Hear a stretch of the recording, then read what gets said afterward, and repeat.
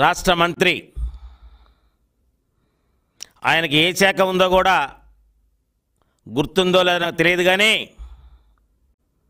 కానీ చంద్రబాబు గారి మీద చంద్రబాబు నాయుడు గారు కష్టాల్లో ఉన్న ప్రజల కోసం ప్రజల కష్టాలను తెలుసుకోవడానికి ఆ విధంగా అయినా సరే ప్రభుత్వం ముందుకు వస్తుందేమని చెప్పేసి బాధ ఉన్నటువంటి ప్రజల దగ్గరికి పోతే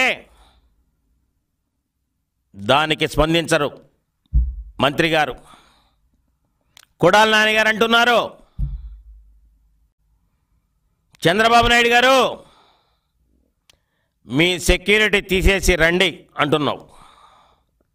అవునా? అవునా కొడాల కొడాలని సెక్యూరిటీ తీసేసి ఈ ప్రజల కోసం పనిచేసే నాయకుడు నీ మీద కొట్లాటకు రావాలా నాయన. చంద్రబాబు గారు అవసరం లేదు. నీకు దమ్ముంటే నీ సెక్యూరిటీని తీసేసి రా. నేను వస్తాను రా. నేను వస్తాను నీకు దమ్ముంటే సమాధానం చెప్పి ఈ రోజున. చంద్రబాబు నాయుడు అవసరం లేదు. ఆయన ప్రజానాయకుడు.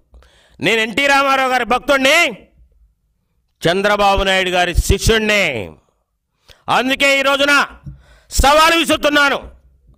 నువ్వు అన్నదానికి చంద్రబాబు నాయుడు గారు అవసరం లేదు. నేను వస్తాను. రా చూసుకుందాం. ఏదో మాట్లాడుతున్నావు.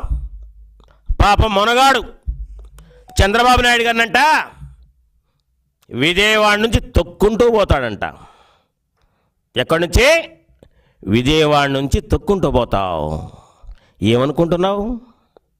చంద్రబాబు నాయుడు గారు తొక్కుంటూ పోతావా? అరే యదవా చంద్రబాబు నాయుడు గారి కాళ్ళు పట్టుకొని బీఫామ్ తీసుకొని ఎమ్మెల్యే అయిన సంగతి మర్చిపోయావా? నువ్వు రాజకీయ వ్యభిచారి నువ్వు కొడాలని మేమంతా ఎన్టీ రామారావు గారి భక్తులుగా చంద్రబాబు నాయుడు గారి శిష్యులుగా ఉంటే నీలాంటి ఎదవల మాట నమ్మి గుడివాళ్ళలో నేనేదో సేవ చేస్తానని చెప్పేసి అంటే నీకు ఎమ్మెల్యే ఇచ్చిన సంగతి మర్చిపోయావా? అందుకే విజయవాడలో తొక్కుంటూ పోతావా? చంద్రబాబు నాయుడు దొక్కటం కాదు. నువ్వు ఇప్పుడు మంత్రివి. నువ్వు రా ఇప్పుడు. వరద ప్రాంతాలకు పోదాం. ఎవరు దొక్కుతారో చూద్దాం. చంద్రబాబు నాయుడు గారు ధైర్యంగా వరదలు వస్తే ప్రజలంతా కష్టాల్లో ఉంటే వారి దగ్గర పోయి మూడు రోజులు పర్యటించి వచ్చారు. నువ్వెక్కడ? ఏం చేస్తున్నావు? ఎవరి ముడ్డిగా అడుగుతున్నావు నీకు అంత ఇష్టమే అంత ఇష్టం ఉండి మంత్రి పదవిని కాపాడాలనుకుంటే రోజుకు మూడు సార్లు కాకపోతే నాలుగు సార్లు జగన్ ముడ్డి కడుక్కో. అంతేగాని చంద్రబాబు నాయుడు గారిని తొక్కుంటూ పోతా ఉంటే చూస్తూ ఊరుకుంటారనుకున్నావు ఆ ప్రజలు? రా ఇప్పుడెళ్ళు.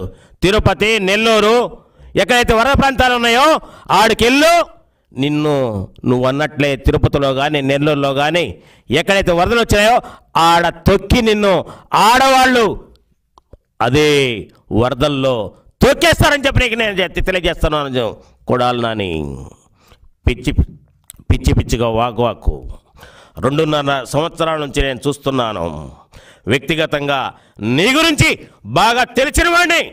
ఇన్ని రోజులు కూడా ఓపిక పెట్టాం మా నాయకుడిని నువ్వు ఏమన్నా కూడా నువ్వు మేము సహించి పోనీలే రాజకీయంగా మాట్లాడుతున్నామా అనుకున్నాం.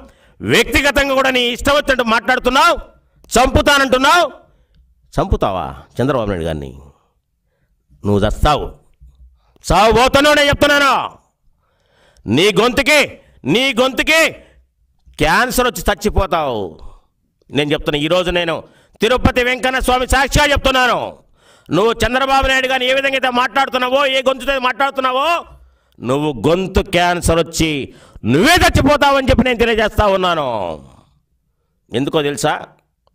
చంద్రబాబు నాయుడు గారు రెండు వేల మూడులోనే అక్టోబర్ ఒకటో తారీఖున చూసావు కదా నక్సలైట్లు బాంబులు పేల్చారు. పేల్చారా? చూడలేదా? ప్రజలందరికి తెలీదా? చంద్రబాబు నాయుడు గారిని ఆ వెంకన్న స్వామి పునర్జన్మించినటువంటి మహానాయకుడు చంద్రబాబు నాయుడు గారు. ప్రజల కోసం రాష్ట్రం కోసం ఆయన ఎన్నో కార్యక్రమాలు చేయాలని చెప్పేసి పునర్జన్మ ఇచ్చినటువంటి చంద్రబాబు నాయుడు గారిని నక్సలైట్లు ఆ విధంగా చేస్తేనే ఆయన ఈరోజు కూడా ప్రజల కోసం బ్రతికున్నాడు. నువ్వు ఏదో నీ పదవిని కాపాడుకోవడానికి జగన్మోహన్ రెడ్డి దగ్గర మార్కులు వేయించుకోవడానికి నీ ఇష్టం వచ్చినట్టుగా మాట్లాడుతూ ఉంటే ప్రజలంతా కూడా గమనిస్తున్నారు. చూస్తున్నావు కదా?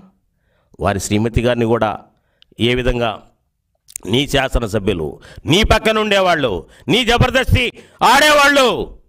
ఎవరెవరు మాట్లాడారో కూడా ప్రజలంతా చూశారు. అందుకే ప్రజలంతా ఆగ్రహంతో ఉన్నారు. మీరు ఎప్పుడు ప్రజల దగ్గరకు వచ్చినా కూడా తొక్కేది మిమ్మల్నేనో.